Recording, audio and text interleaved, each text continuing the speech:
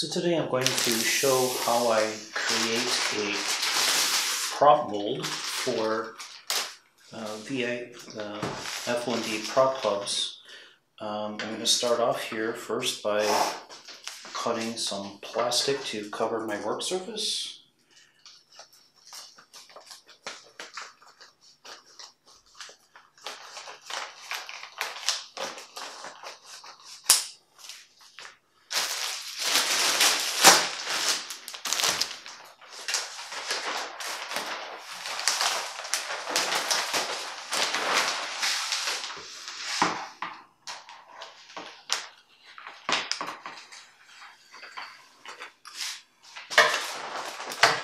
This is extra for next time.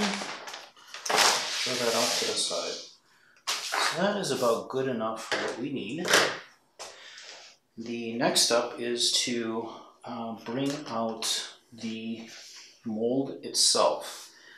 Now this is an aluminum mold that was milled by another modeler who is a machinist and has access to a CNC machine to be able to do these at work. I'm lucky to have very good friends uh, make things like this for me. Um, I'm going to start off here by uh, using a little bit of Partall number two wax just to uh, cover the surface of this. It doesn't really take much, it's already been waxed and used a couple of times. And I'm just going to put on a fairly thick layer and that's that. Now I put the paper towel underneath it mainly because when I'm doing this later there will be some drippage. Uh, and it'll go down the front and the back and the sides of the mold. And when I'm letting it dry uh, I don't like to have it stick to stuff. So back out to the side do this. Uh, so the way I start off the first layer is going to be, you can use between six, seven, eight layers of fiberglass. Now these are sheets that are cut to the size, it's about three inches wide and 10 inches long. Um, so I said six or seven layers, I'll do seven for this one. Two, three, four, five, six, seven. Put the other ones aside. So this is what we're going to start off with. So first step is just sort of get those uh, off the side.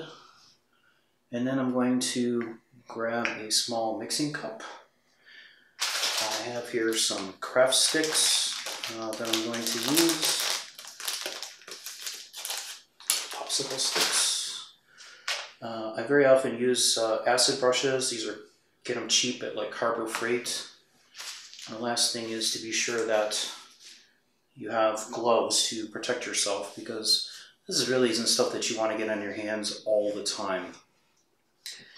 Uh, for the laminating resin, I am using some old stock of MGS, what is this again? L335 and uh, hardener H340. Now this mixes uh, to a 1 to 2 ratio by volume. So in this I'm going to look for about, let's see, 20 grams or 20 milliliters. So it's about two thirds of this. So what I'm going to look to do is add around, to do this right, the best way to do this is a little bit more. So I'm going to add uh, 7.5 milliliters. So it'll end up being around 22.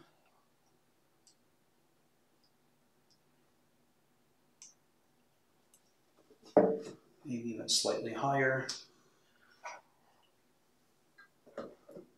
See some of the crud that gets built up on this off on the side, and then this is the epoxy. It looks like I went slightly over the 7.5 mark, so I'll just go to uh, a little bit above 20, so between 20 and 25 for the actual resin. And that looks good.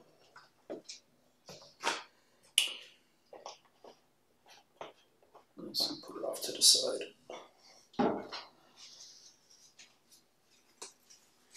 So now when I'm making uh, prop blocks these days, since I don't have any wood uh, to, or I can't get the, the blades that I need to cut the wood ones anymore, I'm doing this exactly in the same way for uh, one of the, just one layer, and I usually do seven or eight layers of the three ounce cloth on it uh, in order to build it up properly. And then I just use uh, usually a dowel uh, in the back in order to be sure it's stiff and straight uh, to be able to build off of. So take a couple seconds to mix this up. Now this is basically has a, has similar physical properties to the other uh, MGS resin we use for the uh, actual carbon fiber uh, outlines. Uh, it cures to the same uh, 176 Fahrenheit uh, properties, so or 176 for 15 hours uh, in order to cure completely. And so it's a very similar resin, so it actually works out really well to use this resin uh, as a base for the actual molds for carbon outline props. Plus, it was almost free so when I got it, so you know I can't complain about that.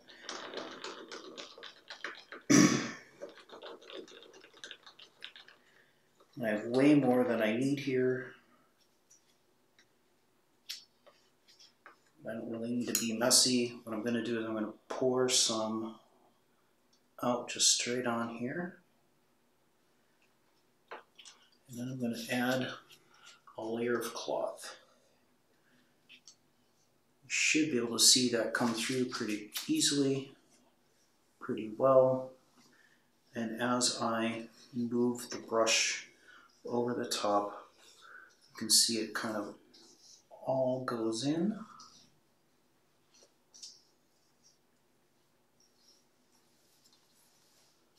all the way around. I didn't probably put quite enough to make that first layer nice and juicy. And you really want the first layer or two to be kind of juicy.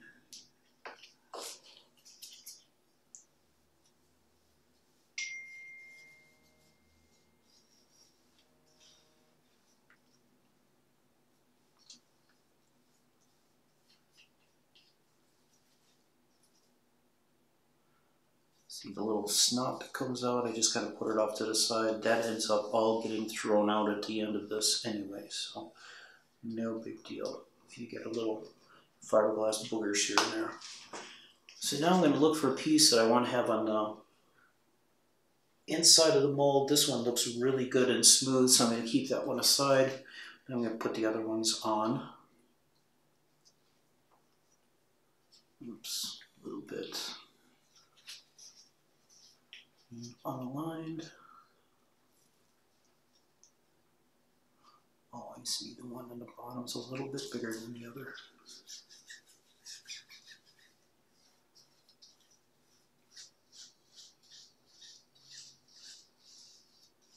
You can see, most of it, you just kind of stipple it a little bit with the brush and it all comes through.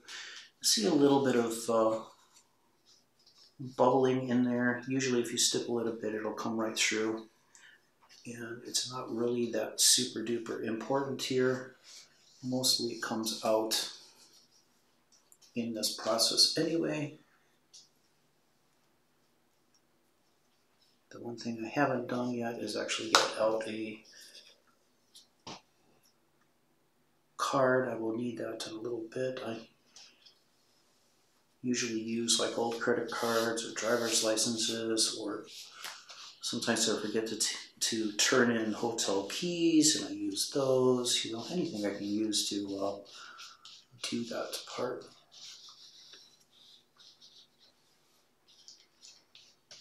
Okay, looks good. I'm going to need to add a little bit more for the next. And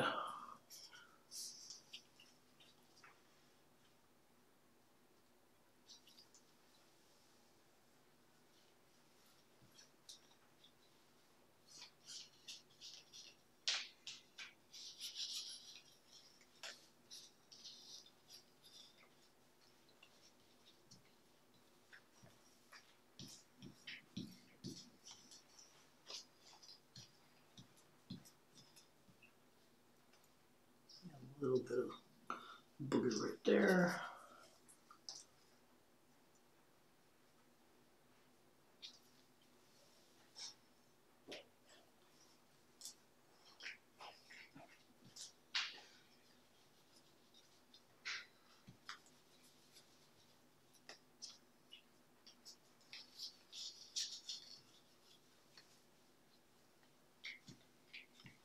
It's starting to look really good, almost done.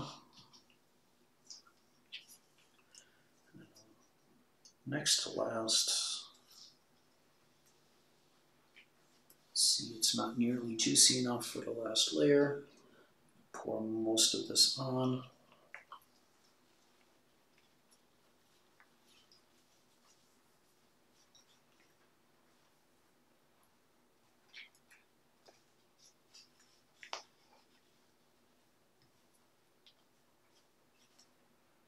You see got mostly in. Put this last layer on.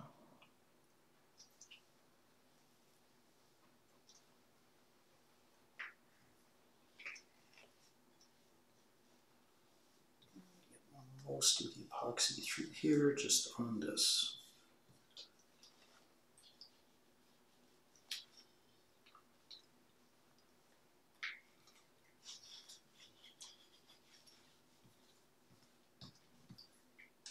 About five milliliters or so extra. Now there's a little bit of, a little bit more boogers that I call them. Now, that actually looks really good. I don't think I'm going to need to hit it with a card today because I used enough epoxy on it.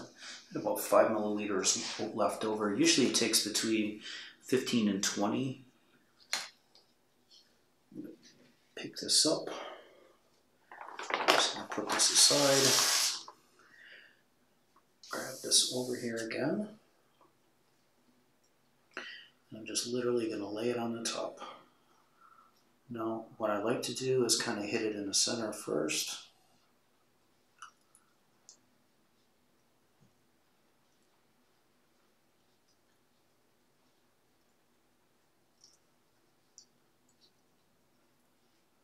And then you just kind of rub it with your fingers to kind of get it in place to be where you want it to be.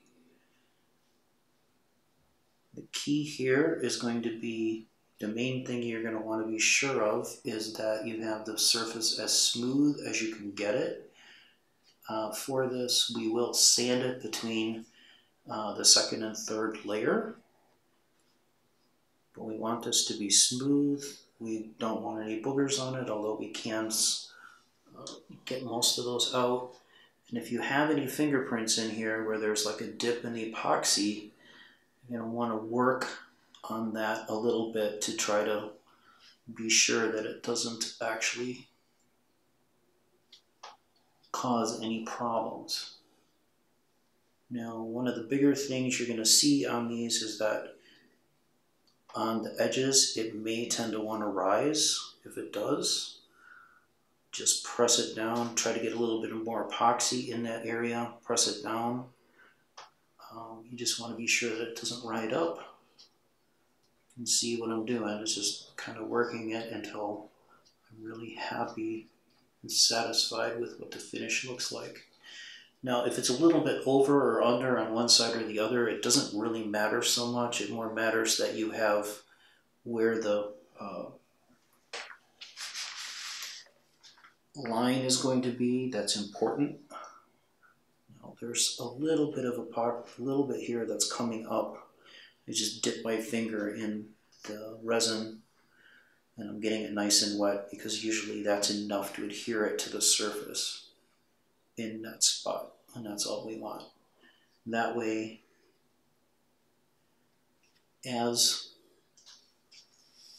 kind of turn this it can be seen a little bit better. Um, this being the base over here, if your line goes like this for your for your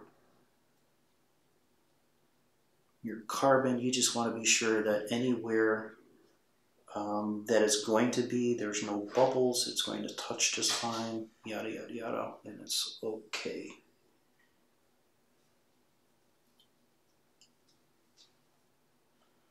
The other thing I like to do is just to be sure that for measuring purposes that one end is actually on on this side uh, at the base. So I know exactly where the zero line is. Um, just so I'll be okay. Um, I'm not really that worried about this spot here because it is coming up slightly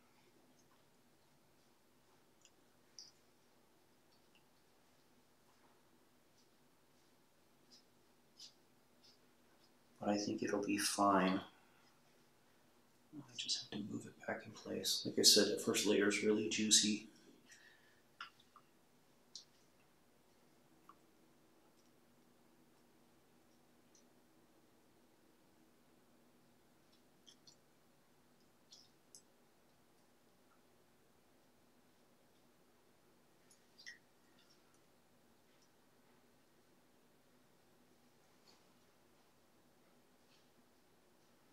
Looks like I have a couple of bubbles forming, so I'm just kind of pressing against it and I'll smooth out the epoxy again.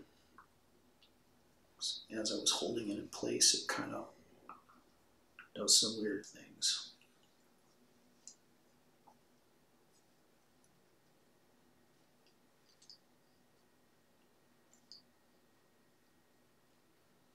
And the better this surface is, the less you'll have to worry about later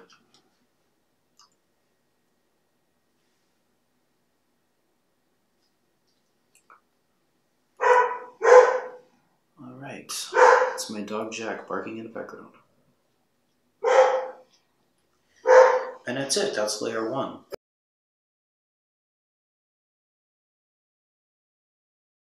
Paper towel, sometimes it doesn't want to come off completely. That's okay, you can just get it off with a little bit of heat later after we're all done.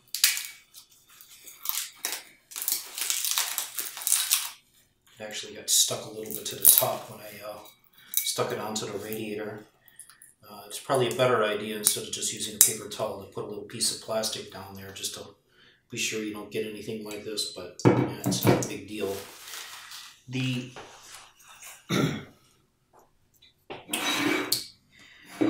it's it's hard already actually uh, after 24 hours, but it feels it still feels a little bit sticky in places, which is typical for this particular resin. Um, that's why I have to post cure it after each cycle. so all I'm going to do here is I'm going to pull out uh, my little post curing uh, unit. There's a little Inkbird temperature controller. And I just basically put it inside here and make sure that the temperature uh, controller is on the other side, or the, the actual temperature gauge is on the other side. And you can go ahead and just put this inside. I'll take a couple pictures from the top to annotate this a little bit better. I'm going to take this and go ahead and plug it in. I believe it's already set to 176.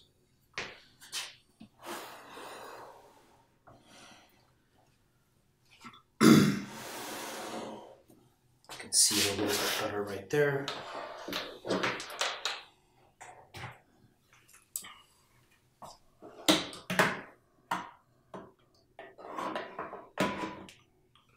Apologize for not showing the actual controller here, but I have to move it a little bit out of the way uh, in order to fit it to where the cord can plug in. Uh, this is all that's really required. Just go ahead, you put this in, and then you let it cure like this for about the next uh, 15 hours or so. And that'll give you the nice post-cure that you're looking for so it's nice and hard afterwards.